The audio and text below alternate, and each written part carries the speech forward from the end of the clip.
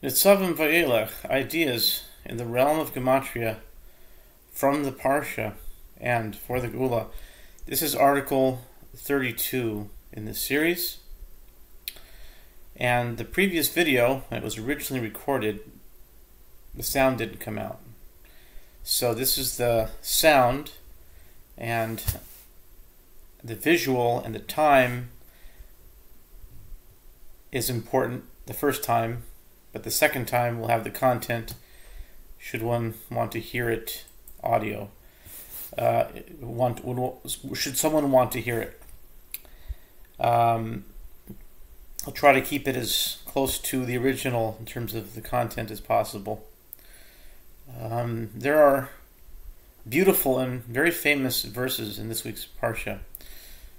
The pasuk says, "Ki hamitzvah hazos asher anochi mitzavcha hayom lo niflesi mimcha velo rechoka For this commandment which I command you this day is not concealed from you, nor is it far away." Deuteronomy thirty eleven.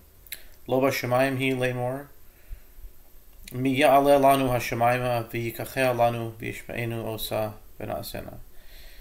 It is not in heaven that you should say, Who will go up to heaven for us and fetch it for us to tell it to us so that we can fulfill it. Deuteronomy 30, 12. V'lo me'ever layam hi lemor mi ya'avar lanu el ever hayam v'yikachel lanu v'yishme'enu osa v'na'asena. Nor is it beyond the sea that you should say, Who will cross to the other side of the sea for us and fetch it for us to tell it to us so that we can fulfill it. Deuteronomy 30, 13. Ki karov elecha hadavar me'od bificha ubilvavcha lasoso. Rather, this thing is very close to you. It is in your mouth and in your heart, that so that you can fulfill it. Deuteronomy 30, 13. The words of "It is not in heaven" are "Lo bashamayim hi," And they are the famous words of Rabbi Yehoshua in the story of the oven of Achnai. Uh, Tanur see Bava Metzia 59a and b. About a debate concerning a type of oven and whether or not it must be destroyed if it contracted ritual impurity. Even though there were miraculous signs and even a voice from heaven saying that Rabbi Eliezer's ruling was correct, the conclusion was that Lo bashamayim he. It is not in heaven. Since the Torah had been given at Mount Sinai, it is now given for the inhabitants of earth to interpret it and adjudicate it.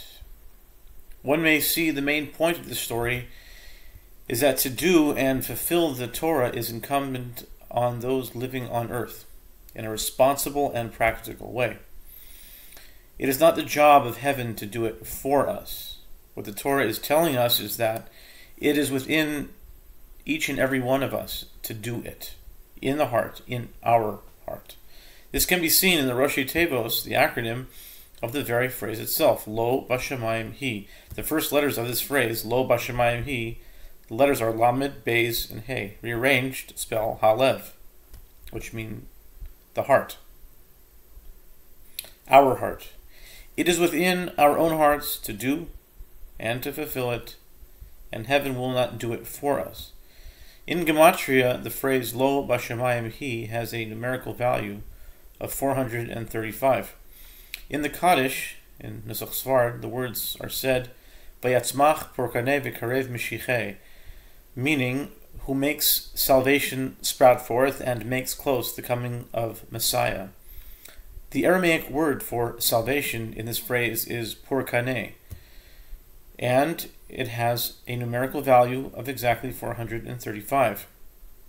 This might suggest to us that heaven can help and certainly does its fair share, but we need to be doing our utmost to help bring and usher in the final and complete redemption and the coming of Mashiach. May it be in our day. Have a great Shabbos.